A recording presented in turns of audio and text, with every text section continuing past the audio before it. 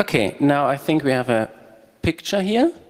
Um, please, uh, we have uh, Jaap-Henk Hoepman from the Radboud University Nijmegen here, who is going to talk to us about some very interesting developments with uh, smart cards and uh, attribute-based authentication.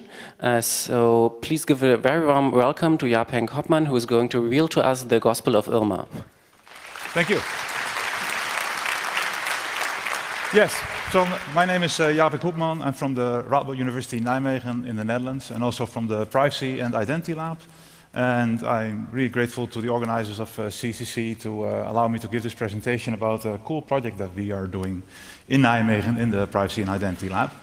And because of the season, uh, I thought it was, uh, uh, would be good to frame it as a, um, like a Christmas kind of story the Gospel of Irma. Irma is our cool project, and I will tell you later what it means and what it does.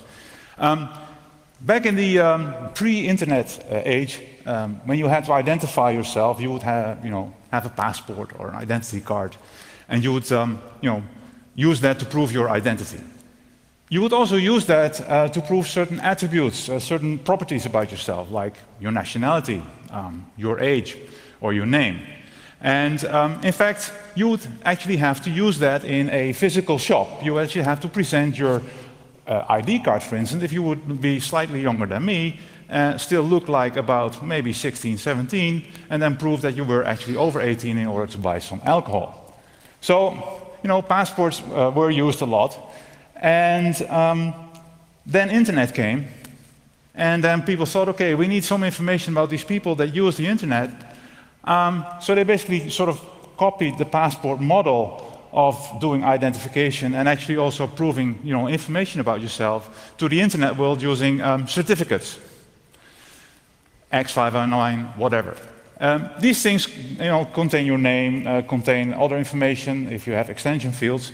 Uh, and the, the good thing of the passport in the, in the physical world was that you know, even if you would show your passport or your identity card to a, a shopkeeper, um, he would usually not have photographic memory. So you show the passport, he verifies your age, and he, forgets about you. In the digital world, the digital merchant never forgets. He just copies the whole certificate. That's a problem. Um, so people thought of uh, like intermediate steps to uh, smoothen the process. Also partly because they didn't want uh, uh to store all the information at different merchants. they want to sort of like ease the experience for the user. So they thought of uh, something called identity management, where here in this picture you have this user that you know wants to do some uh, business at a, what they call a, a relying party in, in these uh, kind of schemes. And in order to actually access that service, he would to have identify himself. So what would he have to do? The relying party says, well, you know, I, I have this contract with this identity provider, so if you have an account there, just sign in at the identity provider, and then the identity provider will tell me everything I need to know about you. Again, you know, if, if the relying party wanted to, he could ask all kinds of stuff about yourself, not only your age or your nationality, but could ask also your name and other identifying information. This is really um, not so good. And that is uh, where Irma steps in, our heroine of the story, where the gospel, what the gospel is all about. Um, she is trying to prevent this situation from happening. And Irma is the project that we are, uh, we are developing in, in Nijmegen. Um, and it's, Irma stands for I Reveal My Attributes. And it's a, a collaboration between um, the, my university, and TNO, and SURFnet. SURFnet is a big um, network provider for academic institutions in the Netherlands. And one of the uh, uh, important features of, of, our approach is that we use uh, attribute-based credentials. And that allows us to, um, you know, only show, only prove to certain uh, relying parties certain specific attributes, certain specific pieces of information about yourself without revealing everything in one go. Secondly, uh, it is smart card based. And this is uh, what set us apart from a lot of other attribute-based credential approaches uh, because we are the first that actually um, can implement a full attribute-based credential system on the smart card with reasonable performance. And of course, uh, why, did we do this?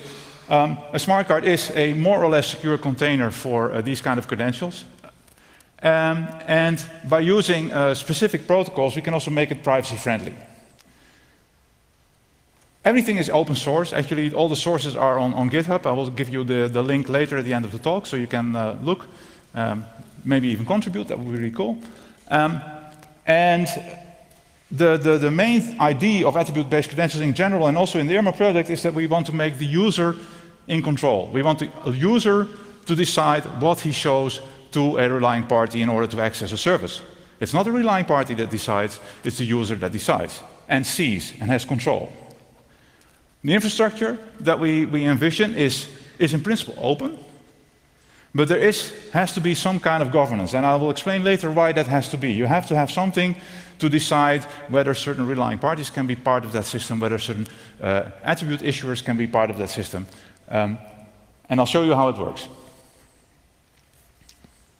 The important bit to remember first is that an attribute based credential system allows you to prove an attribute about yourself, your age, your nationality, some kind of preference, blood groups, whatever, uh, without revealing your full identity. You, you, each, and each and every attribute is an individual item that you can individually show and present to somebody else. These attributes are stored in so-called called credentials. That's why everything is called attribute-based credentials. And uh, such a credential is really a secure container for your attributes. This is what in IRMA is stored on the smart card. One, in a way, attribute of such a credential is the, the, the key. The key that is only stored in the, in the smart card, that never leaves the smart card, and that is used to prove that you own that credential. There's also a uh, exp expiration time. Credentials only have a you know, uh, limited uh, validity. And there are certain attributes. In, in case of IRMA, we only have uh, four attributes per credential. These credentials are issued by a credential issuer. Typically, uh, after showing that you have, uh, uh, you have the right, or you actually uh, have the properties that the credential claims that you have, the credential issuer will issue you that credential. Of course, it's very important that whoever issues the credential has, uh, you know, um, anything meaningful to say about your, you and is actually trusted to say something about you. And also that many other people trust that issuer to say something about you. It doesn't really help anybody here in this room if uh, my father would say that my name is Jaap Hoepman. You don't know my father, so why would you trust him? Similarly, it wouldn't really help if uh, my son would uh, go to the, the, liquor stop and say, you, my father says that I'm 25. The liquor, liquor store said, yeah, okay, that's fine, but you know, uh, I want a, a, a, proper authority to say this, like in a passport. You know, you need, need a, a, proper identity card, a proper, proper passport to do that. Same goes here. I noticed that the credential contains attributes, and these attributes you can selectively disclose. So even though there's always four, at least four slots for attributes in a credential, that does not mean that if you want to use the credential, you have to show all the four attributes at the same time. During the showing protocol, you can decide which attributes to reveal and which not to reveal.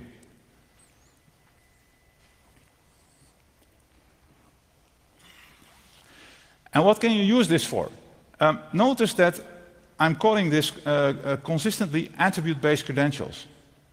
Um, when these systems were uh, designed, they were at first called anonymous credentials. So the people from IBM who designed this called this anonymous credential systems.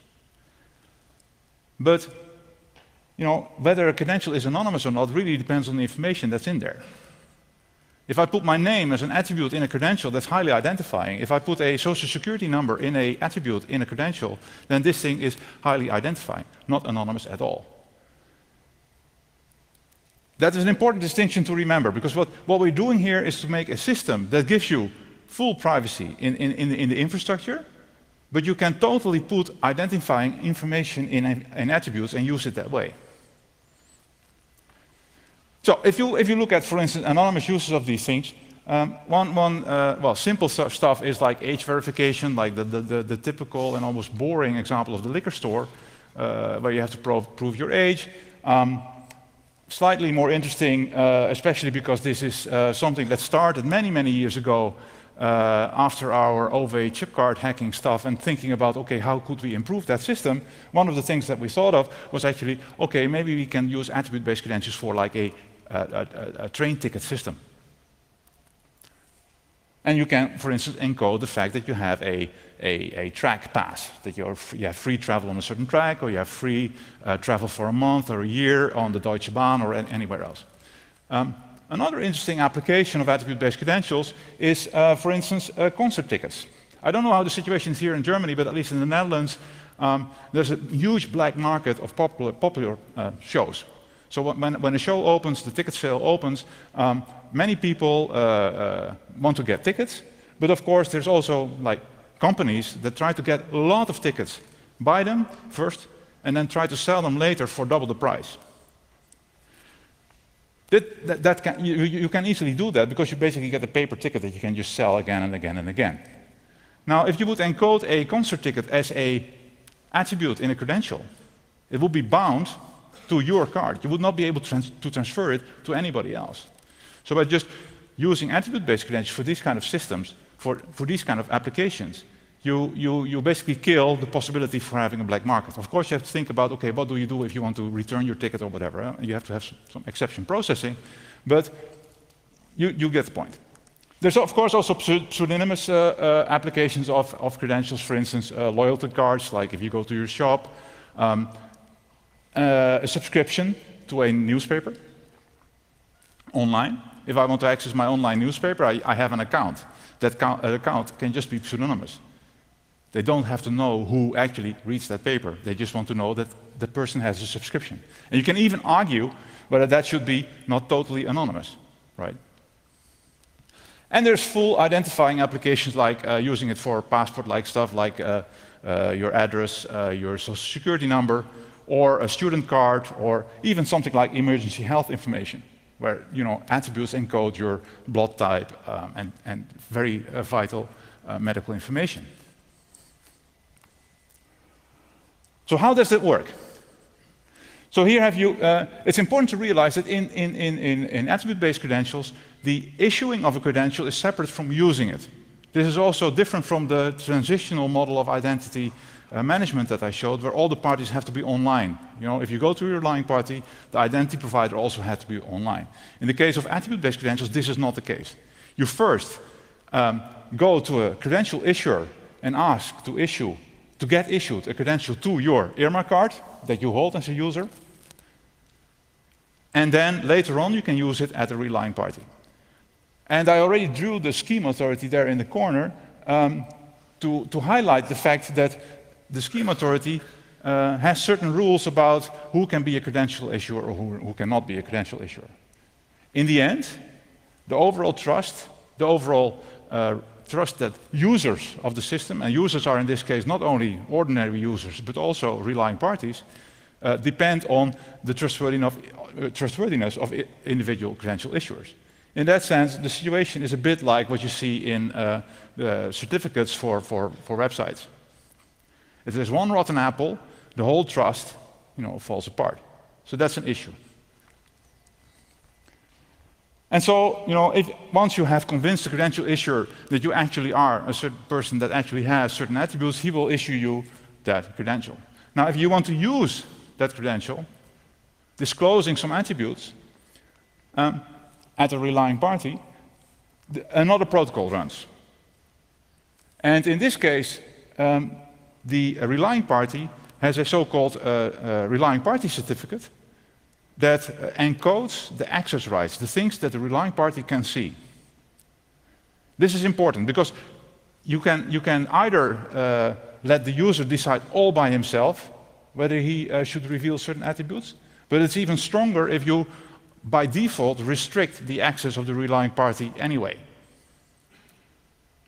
If a, uh, an online video rental store only needs to verify whether you are a member or whether, and whether you are a certain age because certain age restrictions apply to certain uh, online material, you just give him only the right to verify those attributes. You don't give him the right to access name, uh, address, uh, whatever. So this is encoded in these relying party certificates. And if um, a user goes to a relying party to access a service, then first the relying party certificate is transferred to the IRMA card, together with the request for certain attributes, and the card verifies that the attributes the relying party asks for are actually permitted by the scheme authority. And then still the user has the choice to uh, say, okay, I will, I, I, will actually reveal these attributes or not. In any case, you see these like uh, darker boxes in the, in, the, in the credential for the attributes that are not revealed. Important properties for, uh, for these kind of systems are uh, the following. You, of course, credentials should not, be should not be forgeable, because otherwise the whole system would be useless. And you want to make sure that whenever a credential contains a certain attribute, then this is something that a credential issuer issued, and not a user generated all by himself. Secondly, and this is the, the, the privacy-preserving property, um, it should be uh, unlinkable. And unlinkable means that if you uh, actually that has two aspects. First of all, it should mean that the, if you get a credential issued from an issuer, the issuer should not be able to detect the use of that credential at an, at an arbitrary relying party. So this totally disconnects the issuer from the use of the credentials. He has no way of following you uh, looking at the credentials.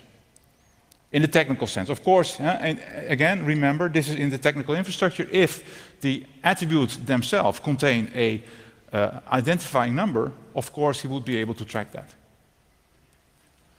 Secondly, there's also uh, unlinkability between several showings of the same credential to different relying parties or even to the same relying party. If I would go to my online newspaper with my credential showing that I have a subscription there, then that online newspaper would not be able to tell that I was the same person coming there again and again and again. So he would not know how much time I spent on that site or how, how many times I go to that site. So these are very, very strong privacy guarantees. Third of all, an important property, but a hard property, is uh, revocability. You want to be able to revoke certain credentials. For instance, if they are abused, if they expire, well, this you can do by uh, setting the expiry time of each credential, you know, at the, at the right time. Uh, but sometimes things, you know, things change. Uh, if you encode certain access rights, for instance, uh, and, and, and uh, you, you forget to pay for something or, or whatever, you want to revoke that access right if that is encoded in a uh, credential. So you want to be able to revoke credentials. Of course, and you know, if, if, you're paying attention, you realize that if you want to do that in an attribute-based credential system that has these unlinkability guarantees, you should already start wondering how can you do that?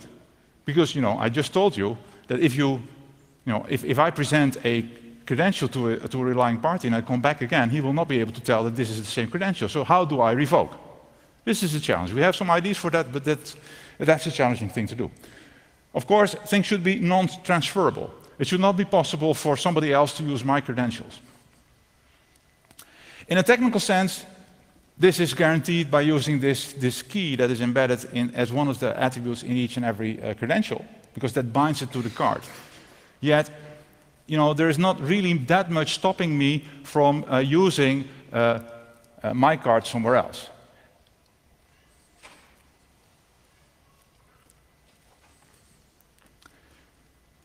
We, did have, we do have certain features to prevent that, but more in the, in the, in the, online, in the offline world sorry, than in the online world. So here you see an IRMA card. These are the cards we produce. We, we plastify them and laminate them uh, and issue them um, at the moment as, as for testing purposes. Um, this is mine. And you see my picture on the front. And you see some, some uh, generic information on the back saying that this is a, a, a member of, uh, is a property of the IRMA project uh, so if you find it, please return it. And there is a uh, unique number at the bottom. Now, I said that this was a privacy-friendly tool, so why is this unique number there? This unique number is only on the outside of the card. On the side of the card, that you typically do not present in a shop, you only show the front. And this is for if you, as a user, want to revoke your card. That's what that number is for. It's not inside the card, it's only on the outside of the card. Inside the card, that's a contactless card. So that means that you can use NFC uh, phones or NFC tablets as, as readers, which is a huge advantage because, I mean, many more and more and more devices start getting them. You see more smartphones, more tablets having that kind of stuff. Inside the card, we implement MULTOS. We implement uh, uh, on a MULTOS card. We initially started off using a Java card, Uh, that was, in a way, slightly simpler to, to, to, to program. However, we didn't have the, the, the, the, full access to the crypto hardware that we really require to do the complex uh, crypto operations that we have to do in order to implement this Idemix system that originally, I think now 10, 15 years ago, was designed by IBM. Um, and we use 1024-bit uh, uh, keys, which is a bit low, but otherwise we do not get the, the performance that we want. So this picture on the outside is uh, needed to ensure that you, uh, uh, that you are bound to your credentials, to your card. So in, a, in an offline world, in a, in a, in a shop kind of world, uh, you can still use this. In the online world, of course, the picture is meaningless. You, the, the relying party doesn't see it. So the only thing that we can do then is using PIN codes or something to prevent somebody who stole your card to use your card. But that still does not prevent you from you know, giving your card to your little brother and then al allowing him to buy liquor. This is some, but this, is, I, I, should add, is something that happens in all uh, online systems anyway. I mean, I can always, you know, give my uh, access uh, uh, credentials to somebody else and he can use it. About performance, because this is really the, the, the most interesting, uh, uh, or that was the most challenging thing that we did, and that actually allowed us to do, to, to do the whole project in the first place. And that is that we were able to do a full card implementation of uh, uh, on, I think in this case, an Infineon SLE. This, these figures are probably from the 66. I think we now use the 7, 77. Uh, and you see that issuing still takes, um, depending on the number of attributes that you want to issue, uh, a considerable amount of time. But um, showing some attributes is, uh, depending on the number of attributes you want to show, uh, if you uh, have two attributes stored, and you want to show one attribute, you see that it's almost uh, a second. And if you want to show two attributes, it's uh, 0.89 uh, seconds. But if you have five stored attributes and you want to disclose five of them, it's uh, 0.9 seconds, below a second. This is usable. This is not usable for all kinds of applications. So for instance, the application that I mentioned that inspired this research in the first place, namely public transport, that's a no-go, because then people would have to wait one second before they could actually go through the, the, the, the toll. That doesn't work. But for certain online stuff, it works. And uh, later on in the, in the afternoon, I'm, I'm around to give demos so you can see how the, the performance actually feels. And this is really uh, I think we are, are, are uh, we hold, uh, in a way, a world record in this. We are the fastest implementation of this stuff on, on smart cards. But for that, we need to have really good access to the crypto coprocessor. And we're actually talking to smart card providers now to actually give us that access, even on other platforms. Because that would really you know, help us get this, this speed uh, even better. I already told you that um, we use NFC, a contactless card, and that means that we have all kinds of terminals that we can use uh, Uh, to, uh, uh, as, as, as, terminals in the, in the uh, IRMA system. So we have like Nexus tablets that uh, run verifiers. we have, you can use NFC phones. And we even at some point asked a uh, point of uh, sale uh, manufacturer to implement IRMA on one of these point of sale terminals. So those are usually used for PIN or magstripe payments. That one is horribly slow though, because it runs on Java and stuff, but it works. So I told you about the card. This contains the credentials. Now I'm going to tell you about uh, the application. What can, how, how, make, how, do we make sure that you can actually use that system uh, as a relying party? So first of all, of course, the most important bit is the, the, the, the, the application that allows you to verify certain attributes. There was already a picture on the, on the previous slide on the, on the, on the left, this, this tablet shows you an IRMA verifier. And basically, uh, it has a hard-coded set of uh, attributes that it wants to verify in this case. And then if you present your card, this is an implicit acknowledgement that you want to show, reveal your uh, attributes there, and then it verifies whether those attributes are actually uh, present on the card. There's also a card proxy, because like I said, the, uh, you want to use this also in online scenarios, but most uh, PCs or devices don't really have a, a, smart card reader. So we implemented something that we call the card proxy that allows a arbitrary mobile phone to be used as a card reader for the attributes while signing into a, uh, uh, website with, a, with, your browser on your uh, ordinary uh, PC. In principle, I'm not going to show you here how it works. The idea is basically that your mobile phone scans a QR code on the, on the screen of the, the ordinary PC, and that handles then the authentication with the session that is basically encoded in this QR code. So then the backend can decide, okay, this is okay, now I can show you the content on the, on the normal channel on the, on the browser. And there's something that we call the card management app. This is an application that the user uh, typically uses for himself to see what credentials are on there on the card, to delete credentials, to maybe change PIN codes, and something very important, uh, we think, is uh, the ability to view uh, the log file. The log file maintains all the actions that have been performed with this card. So this means that the user can see which credentials were verified at which time, which time by which relying party. So this is like a second channel to verify that certain relying parties actually did ask for the stuff that they, they, they claimed they were doing, and you can actually see after the fact that they maybe over-asked if, if, they, so, uh, if that happens. So this is a second way of verifying and keeping relying parties in check. Um, if, you, uh, if you want to look at the whole system, I already said basically we see cardholders and relying parties as users.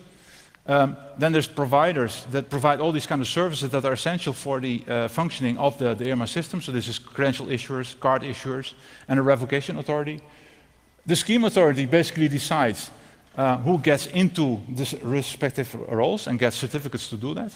So for instance, a credential issuer uh, needs to have a, a key pair with which he can sign the credentials, and that need to be stored in a central repository so that the relying parties can later, later use those keys to verify that the credential is in fact authentic. And then there are certain services at the side that you also need to get this, this system running. Like I said, the, so this is, this is the, the, basically what we have here. Um, we're currently running a, a, pilot with students. Um, we really want to do this in a more, in a larger, uh, slightly less tech-savvy uh, uh, audience. So if you have ideas, come, please come, uh, come forward later after the talk. But there are certain limitations still. So one of the things I already mentioned, there's a 1024-bit RSA key used, which is really too low. Um, because of the computational limitations of the card, we cannot do anything with equality proofs. And uh, we cannot do parallel proofs. So typically, normally speaking, in attribute-based credentials, you can basically show one credential, then another, and in the way the proof is constructed, you can be sure that those two proofs actually belong together. This is something that we cannot do. Uh, in order to remedy the, the, the, the, situation, because otherwise you would maybe, maybe be able to pool credentials and uh, uh, prove, for instance, that you're, uh, I could be able, I could, for instance, prove that I'm over 18 and German, if somebody in the, in the room who's German would help me doing that proof. Um, so this is, uh, this is limited by um, uh, constructing a channel between the card and the relying party, ensuring that only authentic cards uh, talk to the relying parties. We are implementing revocation, um, and I already told you there's weak binding of the card to the cardholder. So there are some issues. But let's get back to the original theme of the story. So there we have this Irma, this, this heroine of the story, that's trying to protect our privacy by implementing attribute-based credentials. But uh, the powers that be, the powers that uh, you know um, were there already before the internet was uh, existed, uh, at some point figured out how the internet worked and trying to exert their powers also onto the internet. And therefore, they will also exert their powers onto Irma. And you know, there's a, a general discussion that uh, in, in, in the field of, uh, and this depends a bit on the country where you live, um, whether you should have like identity systems in the first place. So why are we building an identity management, identity infrastructure if there are, are these risks? And what are these risks? Well, one of the, the, the, the most important risks is function creep. Because once you show some attributes to some relying parties to some services. If, you, uh, if you're used to showing that you're over 18 at the liquor store, if you're used to showing this and this and this, and if at some point you use your IRMA card everywhere and everywhere, it becomes more and more natural to show even more attributes everywhere. And what is stopping these service providers um, asking for whatever they want? Because that's what they're doing now anyway, right? The, and now we're giving them an infrastructure that is giving them authentic attributes. So before, you could maybe uh, you know, lie about your name to uh, evade a real name policy. Maybe you could lie about your address, where you live, if you want to shop abroad. I mean, there's like services like Borderlinx or whatever that allow me to shop in, in, in Germany or in the UK or the US, and they just ship it to me. In, in a way, I'm lying, right? Because it's not my address. Uh, more fundamentally, maybe, is the fact that um, the service provider sets age restrictions. Now, typically, um, service providers are uh, American, and their age restrictions are ridiculous. So, you know, typically parents in Europe will say, okay, you, uh, to, to their, their, their, children, you can go on Facebook. And, it, and in some cases, the children just go on Facebook and lie about their ages themselves. I mean, they're, they're good. But, you know, this is no longer possible if you have a system like IRMA that would allow Facebook to verify the age of whoever tries to sign in using IRMA. You would not be able to lie about your age anymore.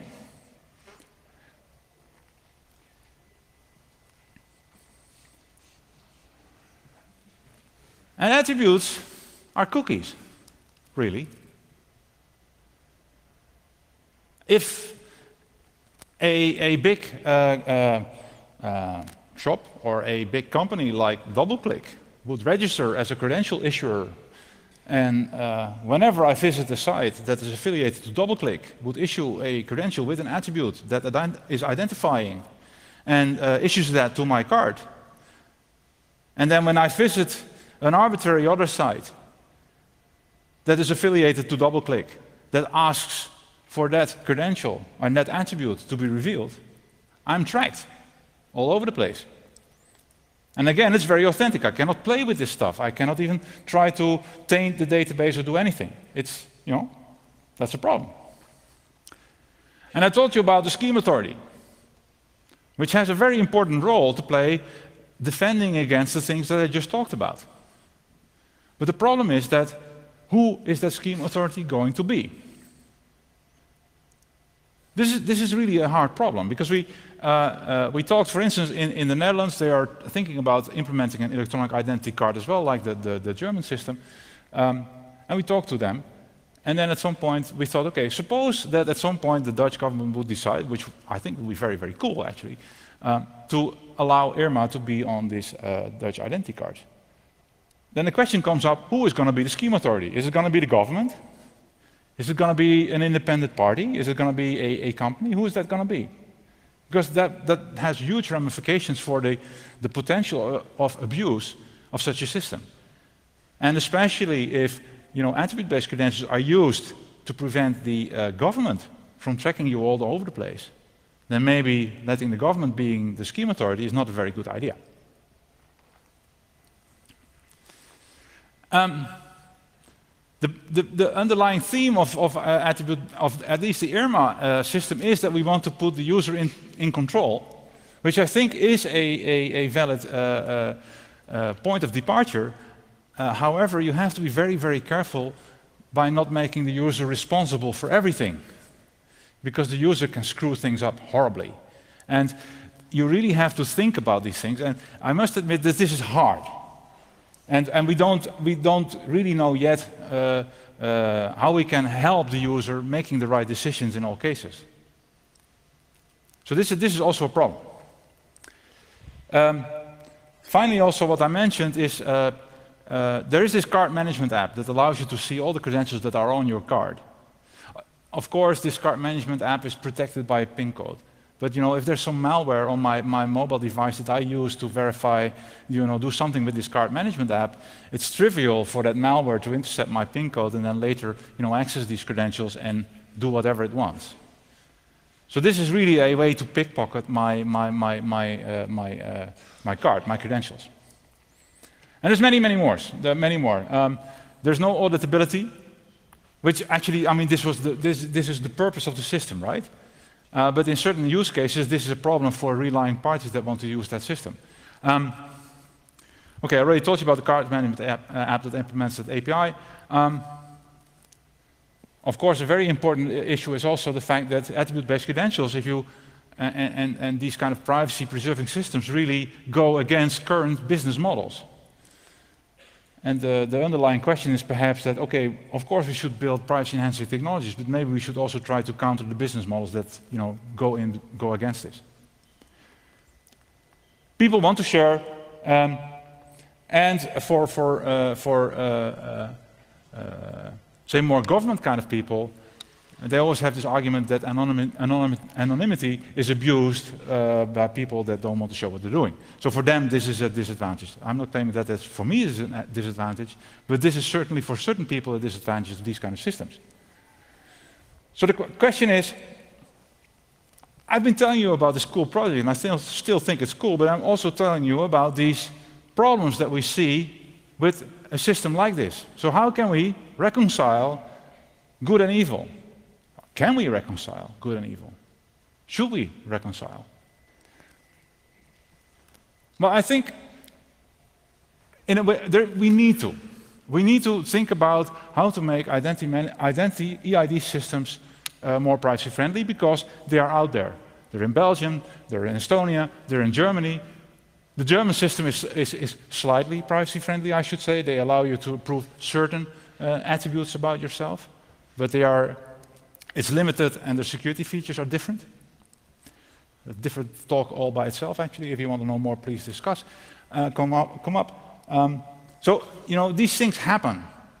And if these things are built, then I'd rather have a system that has the technology that allows you to, uh, to make it more privacy friendly uh, from the start. And not make it totally trackable like a Belgian system or a different Dutch system. But I think the more fundamental point here, and that's the, the, uh, the, the, the, message that I also want to send here, is that you know, technology alone doesn't help. It's useless, it's helpless, it's whateverless. Um, it's one thing you do together with um, you know, legal uh, safeguards, together with um, economic principles, business models, whatever, think about these things as well and in general, think as a society about how you want to use this system, these systems. Because even if you would implement a totally privacy-friendly attribute-based credential system like IRMA and implement it on a, a, a, national EID card, if people really want to abuse that system for total surveillance, they will be able to do that. But at least in this kind of way, you make it much harder to do it. And if you would have the proper controls, in terms of a good scheme authority that has independence, if you would have proper legal safeguards, if you would have proper incentives to use these systems in the right way, then we actually would have a world that is much more privacy friendly. And that uh, concludes uh, my talk. Um, thank you for uh, your uh, patience and you, you listening um, this early hour uh, here in Hamburg. Um, if there are any questions, uh, please, please feel free. Um, use the microphones. I'm told. Hi. Thanks.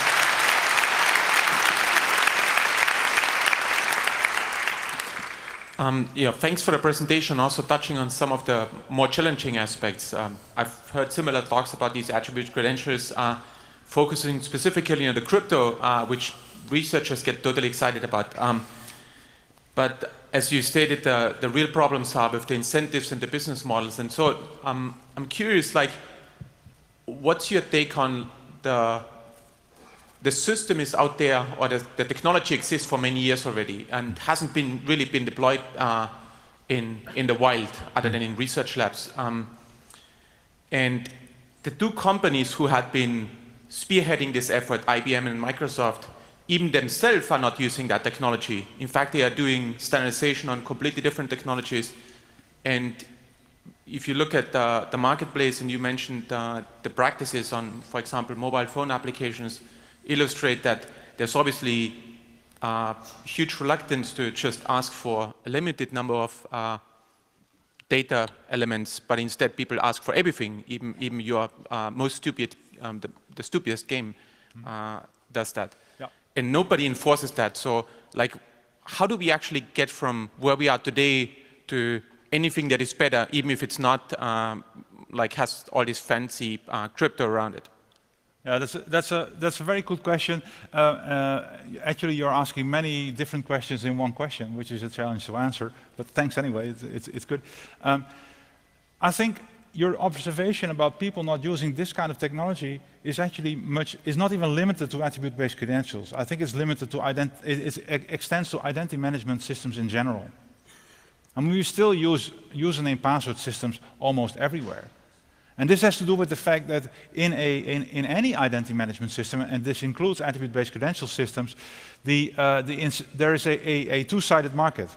You need users that are able to use the system, and you need relying parties that accept that form of identity uh, assurance, so to speak. And the problem is, of course, that if there's no users, no relying party is going to implement that interface. And if there's no relying party implementing that interface, there's not going to be a user wanting to use those systems. So that's, that is in itself a challenge. But I, I, I, I, think I disagree with you on that, but um, there are many uh, identity management systems used today in different in different industries, uh, even on, on for consumer-based web services. Like if you think of OAuth uh, mm as one, you, you find that all over the place. Um, yeah. But the challenge has been, and you, you hinted slightly to that, is uh, the choice of the technology. Um, so you had these smart cards. Obviously, if you want to use smart cards with your regular web browser, you will be you basically cut 95% of your uh, audience away, mm which is for many of the internet services uh, obviously an issue, even if sure. they if they kill 3% of the audience. Sure. So um, how you actually get uh, to this uh, have an incre incremental deployment story is, is, sort of the challenge. Yeah, sure, and that's why we why we said okay, we're going to use uh, NFC, uh, uh, contactless cards. That's why we said we're going to implement uh, stuff on uh, NFC phones and tablets, which at least allows you to use these things on on tablets. And we even have thought about integration, integrating that stuff with uh, PCs. But yes, this is a challenge. But we're taking it on. What else can I say? But more questions. Okay, I wonder if you have a, if you go, to, for example, to a shop with your card, yeah. and how you make sure that, that the shopkeeper really only requests the attributes that you want to reveal. So say the shopkeeper tells you, oh, I'm only asking for your age, but how do you, with the card, with only your card, how do you verify that that's what he's really uh, asking for? Yeah, that's the, the, the principal way to prevent uh, that kind of stuff from happening is by giving the shopkeeper, in this case, a certificate that restricts him to only ask for the age. He cannot ask for anything else because the card will just see that he does not have a certificate for that. That's how you basically prevent that. Because otherwise you run into issues with, okay, who's whose user interface am I using, where I actually see what he's asking, and is this actually what he's actually asking to the card, because the card doesn't have, have a user interface. Yeah. Thanks. Yeah, number three, maybe because. Okay. Um, so when a shopkeeper says, "Okay, give me your card, I'll check your age with it," and uh, then you said the shopkeeper's terminal gives the card a certificate that proves that the shopkeeper is authorized by the scheme authority, right? Yeah. Uh, but that's a process that doesn't involve the scheme authority in kind of an online way, right? So there's no, no way to revoke the certificate. So if someone stole the shopkeeper's um, certificate for, let's say, reading out my name or something like that, he could just put it in his own device, walk around with it, and steal people's information until the shopkeeper certificate's validity date runs out. Does that thing even have a way to validate what the current date is? Uh, yeah, that's a good point. Yes, uh, um, uh, actually we use a standard trick that also is used in the uh, electronic passports where, uh, of course, a smart card cannot maintain its own time, right? It doesn't know the date. But it does know the last time it saw a trustful reader. And then it records the date of that trustful reader as a best approximation of now. So with that, you know, that is at least increasing, and then at some point, uh, uh, credentials expire. But definitely that is an issue. This is how we tackle it. You can always uh, add revocation to standard credentials, uh, sorry, certificates, uh, because these are just basic uh, certificates. You can add that. So that, that's always a possibility to revoke a terminal. Um, lots of different cards have lots of different vendors, yeah. and there's lots of mechanisms below the level where you operate. There's the anti-collision stuff, there's serial numbers, there's yeah. different protocol versions. So there's many ways to identify the users of this card long before any of your beautiful software has, has ways of, of preventing that. True. Uh, that, but of course, that, uh, it, that depends on the kind of cards you use. That depend, depends on, the, on whether you use a random, uh, random identifiers instead of fixed identifiers. So you have to be very, very careful. But even then, even our own research at our group shows that even if you put all that kind of stuff, you could even distinguish different kind of silicon by just the way that the hardware performs. So in the end, yes, that, that, that, does, that is a possibility. Uh, but you have to do much more work. That's how are we on time? Or so we still have 10 minutes left. There okay. are questions so over there. Yeah. Um, number four, maybe. Um, in a physical shop, do, does the shopkeeper use NFC, or can he? I think he shouldn't. Okay, explain why he shouldn't. Well, I could take my card, put it in a microwave, steal your card, and show your card with a picture, and um, I mean, no. take your card, put it in the microwave, and um, show my no, no, put my card in the microwave and put your card behind it so it can read it out. Yeah. oh yeah, sure. Oh sure, but that, yeah, yeah, sure. I mean, if you, but I mean, if you would, you, if you would steal my card, uh, uh, you could use that. Uh, maybe you would have to laminate it over and put your picture on it, and then that would be possible. But that's depending on the kind of security features that you have on the card. Uh, uh, that will be easier or not so easy. Well, I could. But that is independent of using NFC, right? I, I, could use my smartphone and just have a high-powered sender, so I could have your card somewhere in the vicinity and just put my card right on the device and say, "Yeah, that's me here, my picture," right? Yeah, this, these are yeah, of course. I mean, this is this is in, in general with contactless cards, you have relay kind of attacks, which are an issue. Yes. Uh, I have two questions two questions. The first one is you said that you use pins to manage the credentials. How to prevent brute forcing of pin codes? Um, yeah, okay, you use long, long, pin codes. No, I mean, this is, the, I mean, in general, I mean, the, the, the, I guess the, the, the underlying principle, the underlying idea is that you keep your, your, your IRMA card to yourself. You're not supposed to give it, if, if you lose it, you should revoke it and, and in that way uh, avoid abuse of that. But you know, if once you lose a card, uh, in this case, this is a problem. We have been thinking actually for the card management app um, to, to do something slightly more uh, advanced by uh, not only using a PIN code to access all the credentials on the card, but for instance, binding the card to one specific user device. So you would have to have at least the corresponding device to actually read the full contents of the card. Okay. That and would at least address your concern somewhat. Yeah. And how many credentials can you store on one card? Not so many. Oh. Uh, I, I, think about uh, between 10 or 20.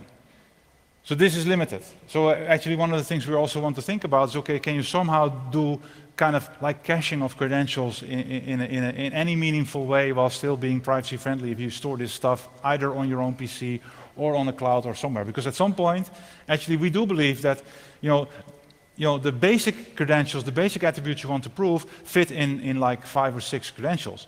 But as soon as you want to do special applications, fun applications, the number of credentials you could collect is going to be huge. So then you have to think about these issues. Okay, thanks. Thanks for the questions. Um, I've got a question about um, whoever the authority is storing all of this data. Um, have you thought about how you can distribute that data among many authorities so that no one authority has every, knows everything. Because if I'm imagining in if this were to take off in 10 years, 20 years, something like that, you might have all of the information about everybody in the world, and you don't want that on in one big. It becomes a honeypot. Sure. No, and that's that's that's a good question uh, because actually that is what IRMA tries to prevent because it actually, exactly. it actually uh, uh, the idea is that you store your credentials on your card. So Irma and not doesn't anywhere have else. the credentials. Sorry? So Irma doesn't have the credentials. No, no, no. Oh, the scheme okay. authority only manages who can has access to the infrastructure, let's say, but it doesn't store it. Only okay. the card stores it. And this is a big difference from, say, IRMA and the more traditional identity management systems that I showed in the beginning. But thanks for the question because Thank then you. it's clear. The person in the back three? Yeah. Uh, can you do the age verification that I'm older than 18 without revealing my actual age? Yeah. Okay. But the, the, I, yes, yes, the answer is yes, but we use a trick here because uh, one of the things that we, I, I, told you, we can only do equality proofs. In, in, in Idemix, uh, the, the, the, the, the, the crypto library, the full implementation actually allows you to ask an arbitrary question like, okay, is this person over X years? And then based on your date of birth, the system would actually compute a proof whether this is yes or no. In our case, we cannot do that because the card is way too slow for that. So we basically slow, uh, store a bit. And we have predefined uh, age ranges that we store. Uh, and then uh, another question, if uh, I buy something online from a physical shop, would it be possible that my name and address uh, get revealed to the mail carrier, but not to the actual uh, shop? No, because I mean the the the the, the whole in a, in a way, whenever you use the IRMA system, a, a session, a secure channel is set up between the card, really the card is the endpoint, and the relying party on the other end. Of course, if the relying party at the other end is going to do whatever it wants with those things that he gets, I mean, that, that is something that we cannot stop, except that at some point the scheme authority is going to say, okay, you're, going to, you're abusing the system, you're out. Yeah? Okay, thank you. Last mm. question, I guess. I have a question regarding purpose limitation. Yeah. Um, in, in, your, in the scheme or in, in general with, with, uh, with systems today, you basically, the idea was of the uh, data protection regulation that uh, providers themselves or by through regulation um, get incentives to ask for as little as possible. Um, and you mentioned that as a, a, shortcoming or a challenge for your system as well. Mm -hmm. And that is indeed tricky because um, think about angry, angry birds who ask for your location mm-hmm. uh, and obviously don't give you a choice. You can't say, no, I don't want to give my locations. The game is still supposed to work. Yeah. So um, someone would have to look at the purpose of the application and then decide on what would be legitimate and what not. Yeah. Um, apparently that doesn't happen today. So I wonder how you would imagine this to work in the future. Like who would check uh, regularly, ideally, with every software update, whether the new feature is actually reasonable for that application or it's not, because obviously application providers themselves would argue, I need the location for location-based advertising, period. Yeah. They, they are in the control, the users are not uh, putting the, the user in, in the control doesn't help because the user has no voice in that game. True, and that is, that is, that is um, uh, you, are sketching the scenario of, uh, for instance, installing an application on a mobile phone or, and, or, anywhere. or, whatever, or anywhere else. Uh, and that in that case, there's not really a, a third party that sort of protects the individual user against basically the big, the big power of the, the application provider that basically sets the, the rules of the game. And here, in, at least in, Air, in the IRMA scheme, the scheme authority has to issue a certificate to the relying party allowing him to access the attributes in the first place. So if he does not get a certificate, he does not get anything. Now, of course, it depends on the, on the, on the spine of the, of the, the scheme authority whether this is going to make any difference in the real world, yes or no. But at least the, the, the default is that the relying party gets nothing. And this is different from the, the, the, the situation now. But it, well, it depends on, of course, the application you have today, but uh, um, it, it doesn't seem that there's a story on who would actually do that. I don't think the identity provider will go off and will talk and look at the every application and then say, okay, now this is this is useful practice. Like if I have uh, my identity provider, the uh, fast-moving German government, um, they will then look at all the applications on the internet and will figure out on whether that's a, uh, a fair use. I don't think that's particularly realistic, and also like they don't even have the manpower to do that. Um, that, that, is, that is an issue, and that's why I said, and this is the discussion about, okay, who is going to be the scheme authority, and is this going to be trust, is it really going to be trustworthy, and is it really going to do that kind of checks? And I totally agree with you. This and what their business model is, because obviously they yeah. would have to have lots of people to actually check out each and every application whether they do the right thing. Sure, uh, sure. I agree. Um, okay, okay thank you. We, we still have one very short question, I've been assured, from the internet. Ah, okay, from the internet, cool. Um, the voice of the internet. Yeah. Um, one question from the IRC was, uh, do you thought about a display on the card? So maybe you can check which uh, information the shopkeeper wants? Yeah, that, that would be cool. And actually, I mean, uh, I, I, think I've even seen pictures from the 70s of Visa having these kind of cards with display. So this is definitely a, a, a possibility, uh, but we haven't uh, experimented with that uh, yet. Okay, thanks. Thank you, Internet, for the question. Um, let me uh, just point you to the, the, the, website for more information. If you want to see the, the that also lists the, uh, the GitHub uh, link where the, the, the, the, sources are for all the code. And anybody interested in demos, at 2 o'clock at the Noisy Square, I will be around to give demos. I still have to find where the Noisy Square is. I have no idea yet. Let's see, I will find it. Maybe see you there. Thank you very much.